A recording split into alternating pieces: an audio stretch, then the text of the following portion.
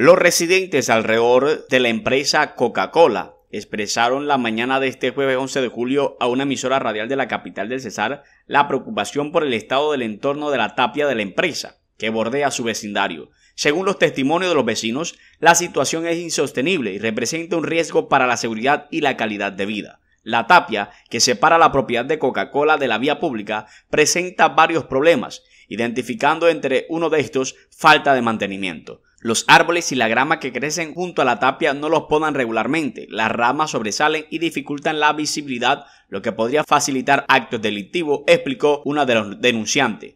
Las basuras acumuladas es otra de las problemáticas a las que se encuentran los residentes del mencionado sector en Valledupar. La empresa no se encarga de mantener limpio el área junto a la tapia. Los residuos y basuras se acumulan, creando un entorno poco agradable.